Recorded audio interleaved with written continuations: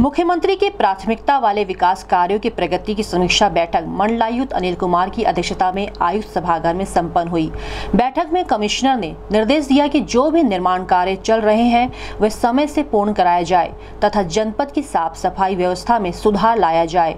उन्होंने नगर आयुक्त को निर्देश दिया कि सफ़ाई व्यवस्था के लिए कंट्रोल रूम की स्थापना कर सफ़ाई व्यवस्था पर नज़र रखी जाए तथा सफ़ाई व्यवस्था से जुड़ी संबंधित फार्मों को नोटिस भी जारी करें।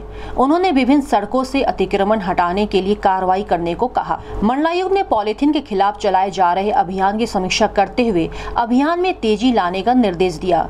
उन्होंने कहा कि नगर निगम के द्वारा अमृत योजना में बनाए जा रहे पार्कों में तेज़ी लाकर शीघ्र कार्य पूर्ण कराया जाए।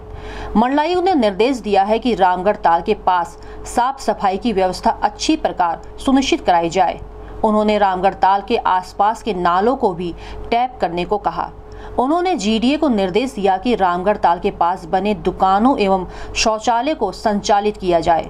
उन्होंने समाज कल्याण छात्रावास, मोहद्दीपुर से जंगल कौड़िया, फोरलेन नौसर से बागा गाड़ा तक फोरलेन सड़क निर्माण की भी समीक्षा की।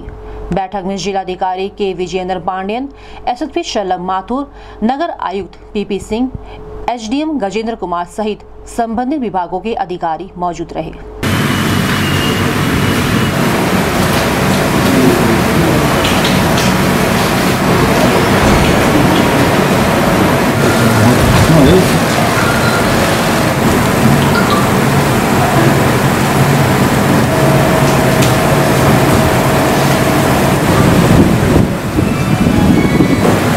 बेसिकली